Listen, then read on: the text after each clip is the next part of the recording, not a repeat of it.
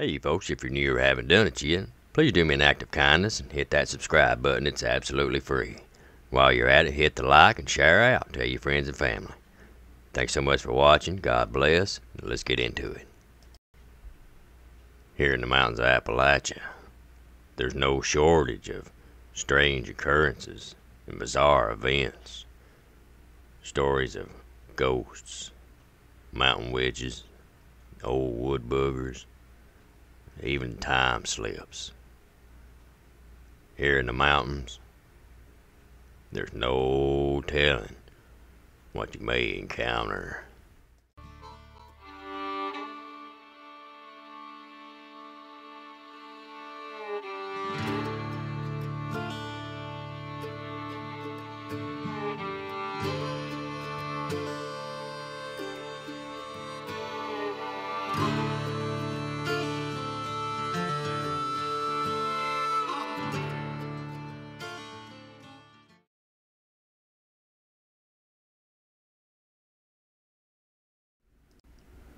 My story happened in West Virginia in 1973.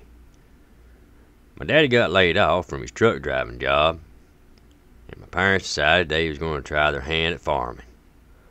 So they bought a 30 acre farm from my uncle, and we moved from the inner city neighborhood that I growed up in and moved down there. I was about eight at the time, so I didn't hold up too much hope for anything that I'd call fun but nobody asked my opinion. Well, we pulled into the yard, and we got out and looked around. The barn was made of stone and looked like it'd survive a tornado. Some of the outbuildings needed a little repairing, but chicken coop was in really bad shape. I asked my mom you know, where the house was. Well, she pointed at the chicken coop. I had my doubts, but there was more open land than I had ever seen. I started to run off, and my mama grabbed my arm. Started pointing at things, saying, Don't go past that, don't go near that, don't do this, and don't do that. Well, by the time she's done, all that was left was front yard. I really didn't mind, 'cause there was still more room than I was used to. Well, then she told me something that knocked me off my feet. She said that so long as we're living here, you gonna be in the house by dusk and in bed by dark. I started to protest, but she give me the look, so I hushed up. We lived down there for about ten months. Every night, something would come into our yard and try to get at the livestock. Our dogs usually chase 'em off. They was about 80 pounds worth of pit bulls, and they didn't know what fear was. They once run off a bear, and I heard 'em running it down through the bottoms while Daddy and brother shot their guns up in the air and shouted. We probably would have stayed there forever if it weren't for one night. It was early October. My parents was talking about sending a pig to the slaughterhouse and getting some jars to can the vegetables and the garden, things like that. They supposed to go over the next day. So I was sent to bed early so we could get an early start down into town. Well, later that night, I woke up to the sound of the chickens a screeching in their pens. I look over to tell my brother that something's in the chicken pen, but he weren't there. I got up and walked into the living room. Started to ask what's happening, but Mama put her finger up to her lips. She was sitting on the couch with my sister and her baby. They were there trying to keep him quiet. My daddy and brother was sitting on the kitchen chairs facing the front door with their guns in their laps. The chickens kept screeching.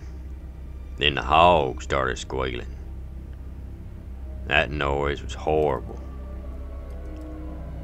Then I noticed the dogs weren't barking. I listened real close, and then I heard 'em whimpering under the porch. Suddenly, I heard one of 'em yelping and biting at something.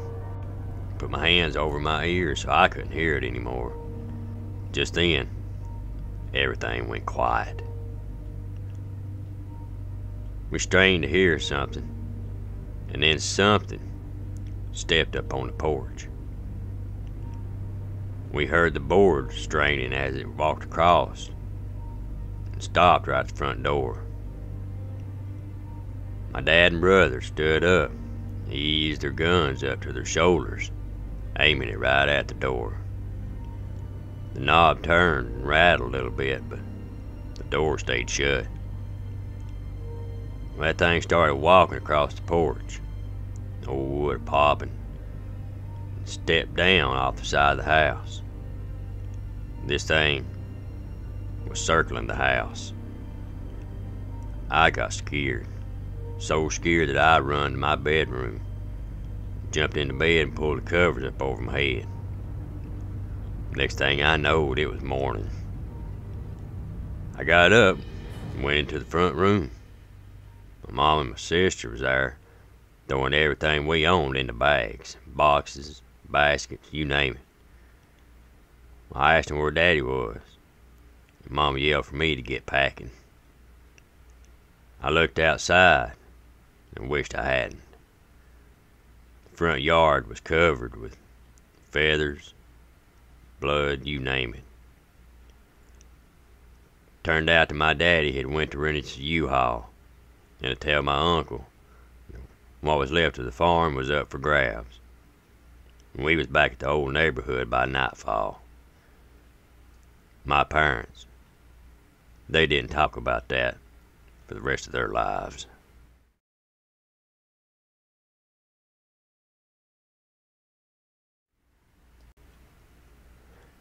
In my little town of Mount Angel, it's pretty safe.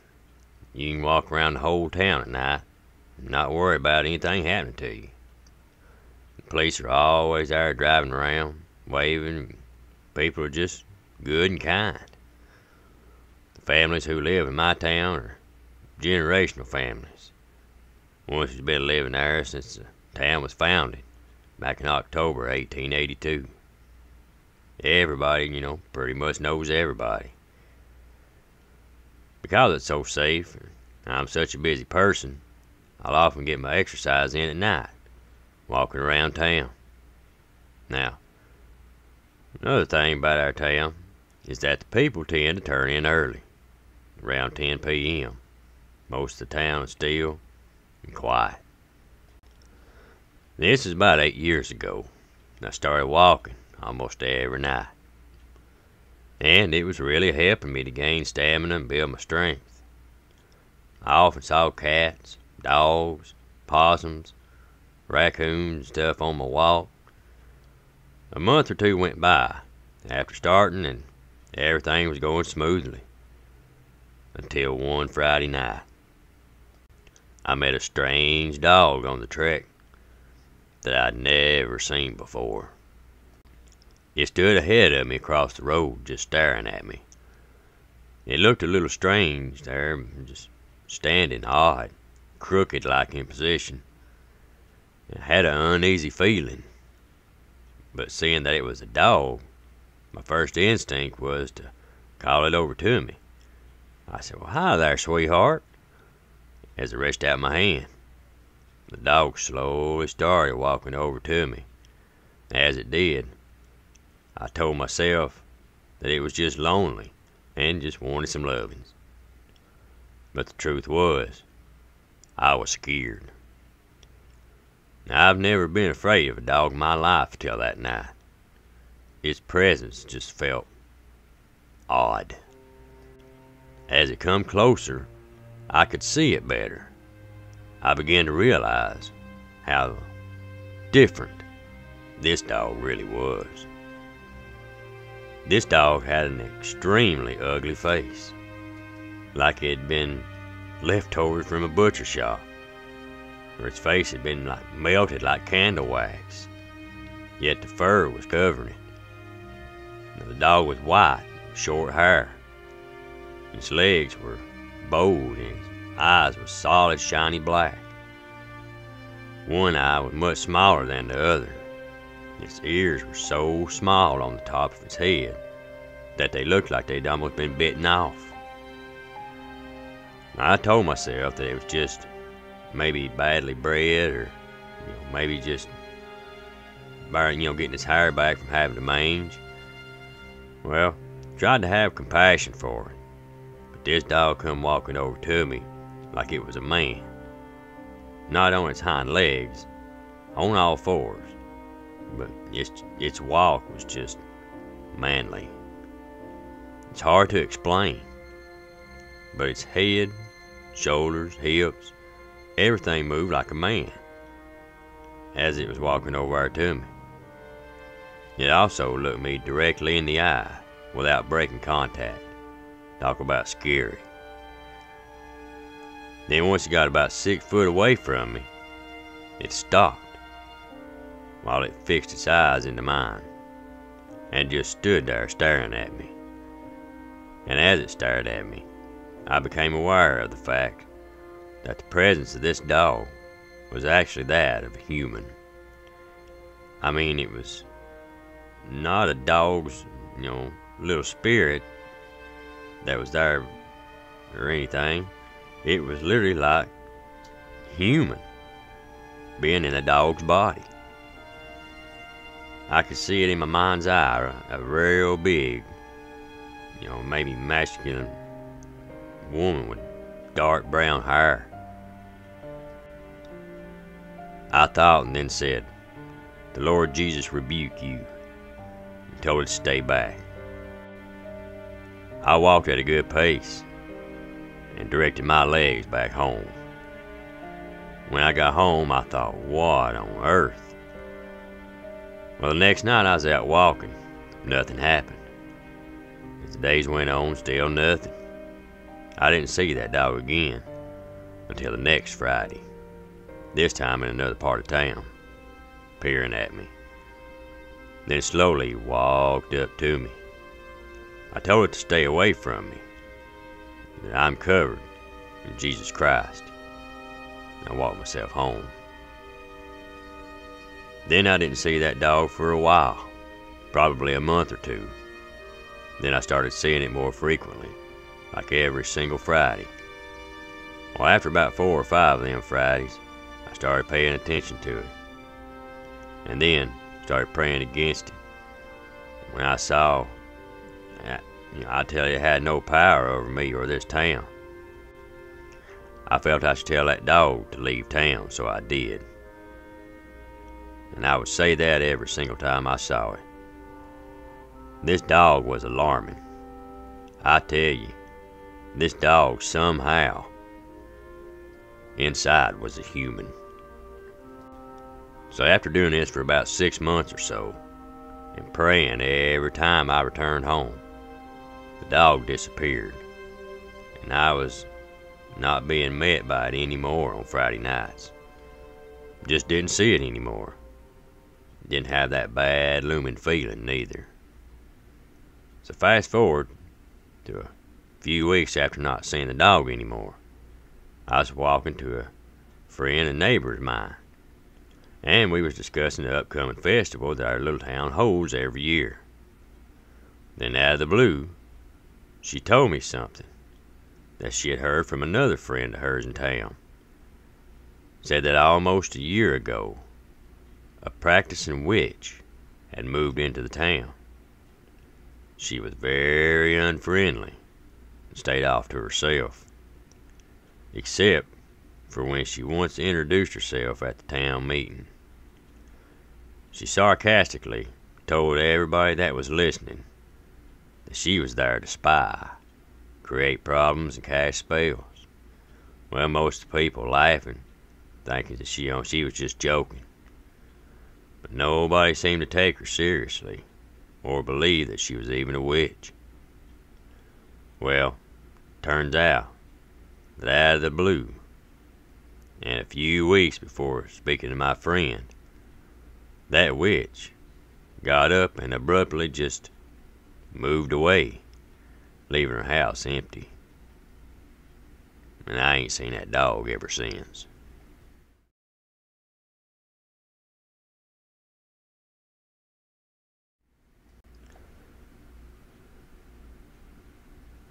Here's a creepy story that happened to me not long ago. I worked hard Monday through Friday and looked forward to my weekends. Now, Sunday, that's my church going day and family day. But now, my Saturdays, that's my fishing time. Well, I got up around 5 a.m. Saturday morning and I was out on the creek bank by 6. I was standing there. I'd cast it in a few times. It was kind of cool.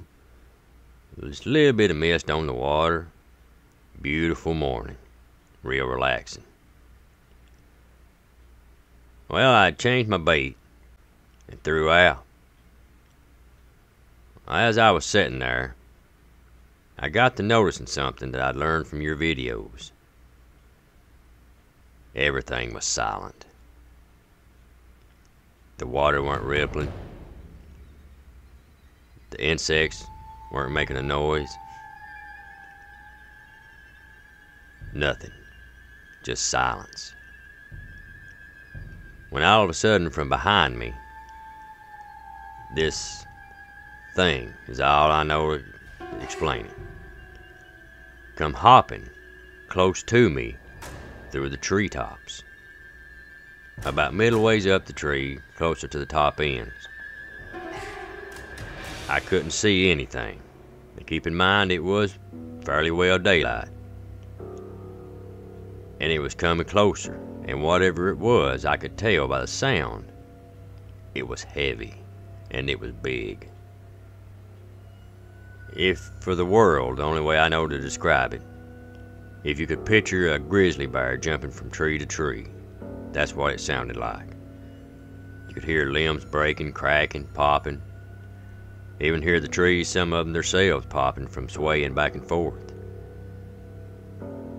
And it stopped abruptly right behind me. And again I looked straight up, and I saw nothing. Yet that big old tree was swaying. Well, while I'm standing there, just in complete awe and curiosity had got the better of me. Something let out a screech like scream.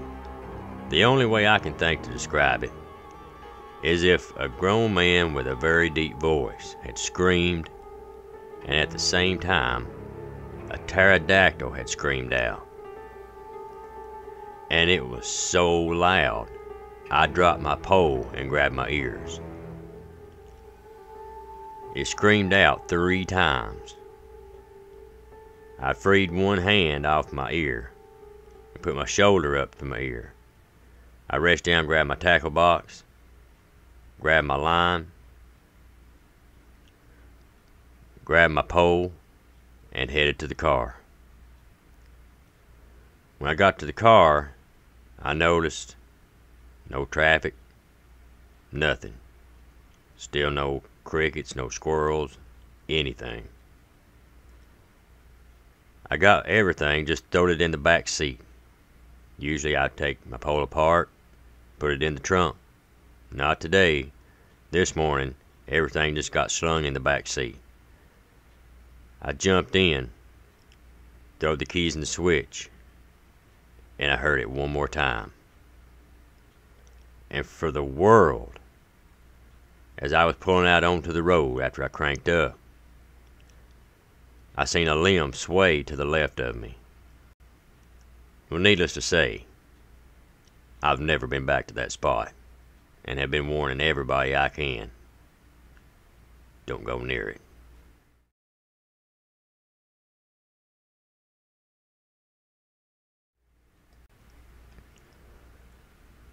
Back some years ago, my wife and I took a vacation. We drove almost a half a day to get to Fall Creek Falls State Park, a place we had always heard about. We get up there, and the sights is beautiful, people friendly, everything was picture perfect. Exactly, if not better, than what we expected. We hit some of the nature trails, visited the nature center, let the kids play on the swings. Well, that afternoon, we was all tired. So, my oldest son agreed to watch his brother and sister. Well, by that evening, some more people had gathered in. The park was getting pretty thick. Well, we went and asked a local if there was any local sights. Well, they told us about a cave that weren't too far from there, just outside the park. They told us the address, said they knew the people quite well, and say they sent us there to see the cave. Now, when we spoke with this person, I don't know, there was just something off about them. They just seemed a little too eager to, you know, they knew exactly what we wanted, what we was looking for, everything. But we just agreed and went on. We followed the directions and pulled up to an old rundown house. Older gentleman sitting out on the front porch. A couple of dogs laying out in the yard. Friendly old fella. Throwed his hand up. Was real inviting. We walked up, shook hands, and told him what we was looking for. And he told us just to go around side of the house, cross the backyard through the field, and follow the path. Said you couldn't miss it. Went straight up to that old cave. We take off, and it's absolutely beautiful. Some of the sights up through there were absolutely breathtaking. We stopped, even took a couple photos. We get up to the mouth of the cave, and we look around, stop and rest. Absolutely gorgeous. Well, after a few minutes, it started getting late, and we know we had to get back out of there before it got too dark to see because we didn't have any flashlights with us, torches or anything. Well, by the time we made it about halfway back down the path, it was getting pretty dark on us. Darker than we expected and darker than we wanted. All of a sudden, we started hearing strange noises. Almost for the world sounded like people running. When that would happen, we would stop and turn around. We just knew it was locals messing with us. Maybe, you know, knowing some outsiders outside of town was there, wanting to mess with them, have a good laugh. Well, every time we would turn around, nothing. We'd turn, take off again. Same thing. Would be directly behind us and alongside of us. About the third time it happened, we both turned around, and we saw the same thing at the same exact time. And it's something that shook us to our very core. We turned around and looked at each other, never said a word. I reached down and clasped her hand. She clasped mine. And we just took off almost in a fast pace. And we kept that up till we got back to the edge of the, the yard. We crossed the field into the yard, back to the car. As we passed the house going to the car, it was kind of strange. The person we spoke to at the park was standing there talking to the older gentleman, and they were laughing. We didn't think it was too funny. But after we got in the car and left, we got to talking about what we saw and the strangeness of the whole thing. As we was going through the path there, I said around the third time we heard it. When we turned around, we seen tons, and when I say tons, I mean literal tons of what looked like solid black shapes of people that was ducking behind the trees. I'm talking probably 40 to 50 maybe. maybe more. And they were moving at a pace that no human could move. Also, as we passed the house, we got to noticing the one that was at the park we spoke to that gave us the directions was there, and there was no other vehicles. Yeah, it's possible they got a ride, but still just kind of odd. Also, why were they laughing? But the strangest part is yet to come. At the end of our vacation, we all packed up and we left. We were going to see another landmark before we left. Strangely, the directions took us right by the house, the house that led to the cave. As we drove by there, there were no signs of life anywhere. No, no old man, no dogs. A fence was there that was gated off with a chain around it allowing no access with no trespassing signs. The house itself was old. Windows didn't have any kind of blinds, curtains on it, or anything. Looked like it had been long since abandoned. My wife and I just looked at each other. And it weren't for a long time after that that we even told the kids.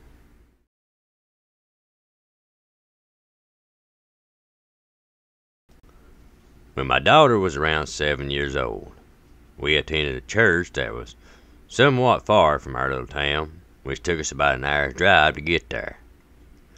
On this particular morning, we was real excited to go for whatever reason I can't remember, but also was the fact that we loved to get there early so we could talk to friends and family before service started.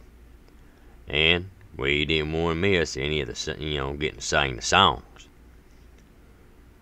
Well, for some strange reason, we had a string of Sundays where we arrived late. And for the life of me, I couldn't figure out why, since I would always give us plenty of time. As a mama, I blamed myself, and I just hated being late. Well, this time I was extra careful to watch the clock even more. By George, we got distracted somehow and were run late again. Very late. I began to hurry us into that car, and we sped off lickety split heading to church, which was about an hour away. As we came into a familiar bridge, about fifteen minutes into our one hour drive, I couldn't help but feel bad and Tears began to stream down my face. I told the Lord that He is important to me, and so are His other children at the church. Also, I told Him that I was so sorry that we was going to be late again and miss worshiping for the sermon. My little daughter heard me say these things.